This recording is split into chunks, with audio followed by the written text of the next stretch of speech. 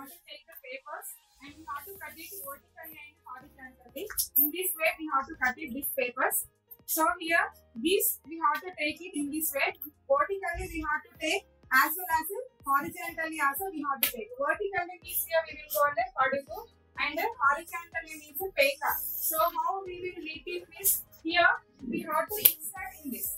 We have to insert first vertical after horizontal paper next vertical paper after horizontal paper in this way you have to take okay? Each and every page you have to prepare in this mats okay? Take papers or leaves. And you can prepare yourself. Each page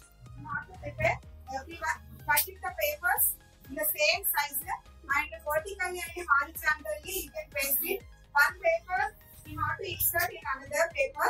So in that way you will get the fixed in the proper mats okay? Already they have started see?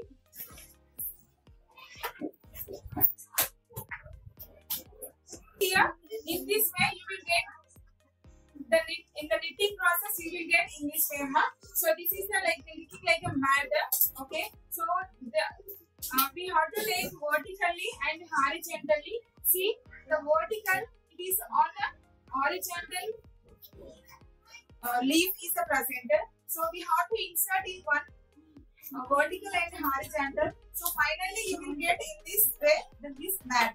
So making of knitting by using the knitting we will get this mat